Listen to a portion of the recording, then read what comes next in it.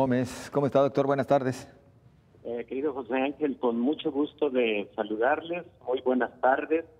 Y el día de hoy me voy a permitir eh, hacer algunos comentarios relativos a la aprobación que el día de ayer hizo la Cámara de Diputados a la reforma eh, a la Ley General de Salud para que todos los alimentos y bebidas de altos contenidos calóricos tengan etiquetado eh, de, advertencia de riesgos y, por supuesto, eh, valores nutrimentales.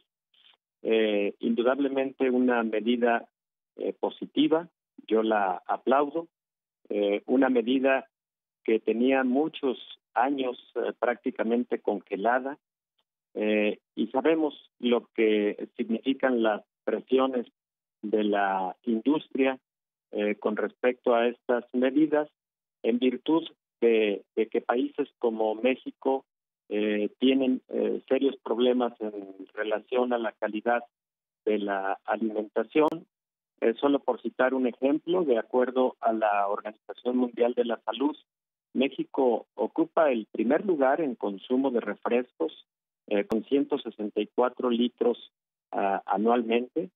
Y además, otros factores que ha publicado la eh, Organización para la Cooperación y el Desarrollo Económico, el Instituto Mexicano para la, eh, para la Competitividad, eh, que nos habla de, que además de esta situación nutrimental, pues en México se ocupa el segundo lugar en cuanto a gasto de bolsillo para enfermedades crónico-degenerativas como diabetes, hipertensión, obesidad y el serio problema de que 16 millones de mexicanos carecen de protección financiera en salud y están gastando hasta un 25% de su sueldo y salario, están gastando hasta un 25% de sus eh, sueldos y salarios en la atención de enfermedades de esta naturaleza.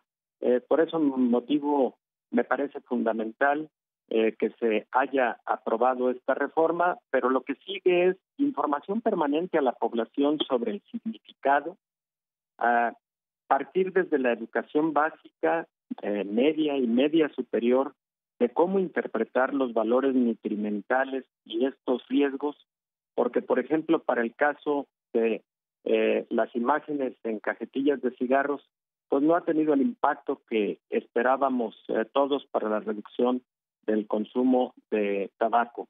Entonces, lo que sigue, insisto, es información para la población y otras medidas como la actividad física y deportes, escuelas de tiempo completo con actividades físicas y, por supuesto, el apoyo con desayunos escolares de calidad en poblaciones, en zonas marginadas con alto riesgo de desnutrición y o malnutrición. Me parece que esos son los pasos que siguen, pero el día de ayer se, se dio eh, un gran paso con la aprobación de que todos los alimentos y bebidas de alto contenido calórico tengan etiquetado de advertencia de riesgos y valores nutrimentales.